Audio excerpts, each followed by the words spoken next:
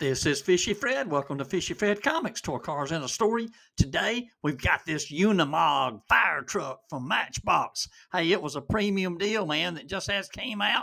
Hey, we just have got it in the mail. We're going to unbox this thing today and check this thing out. Let's take a closer look.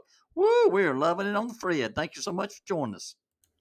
Welcome to 101.1 The Fred, downtown Fishy Fredville, North Georgia, USA. This is the number one radio station in Fishy Fredville. We have been rocking Fishy Fredville for four years. Hey, we are loving every minute of it. You're listening to DJ the Jack. Hey, let's tune in to Natasha and see what's shaking in Fishy Fredville. Thank you, DJ the Jack. Today, our fire department in Fishy Fredville is taking delivery of a new fire truck from Matchbox. It is beautiful. It has a rear opening door and a hatch on the top that also opens. The Fishy Fred crew will be checking it out.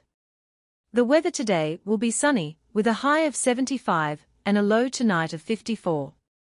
It will be a March windy day with wind gust up to 40 miles per hour. In the comments, Adley Figure Channel 6908 says, The wheels look amazing. Thank you so much for that kind comment. We appreciate all of our commenters and supporters. Traffic is heavy on World Main Street. Thank you for joining us. Have a great day. News alert. News alert, this is breaking news.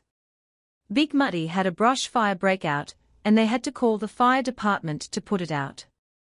Fantastic job by the fire department with that super fast response and taking care of the fire. We appreciate all of our first responders. The Sky Chopper is there now. The word is just in.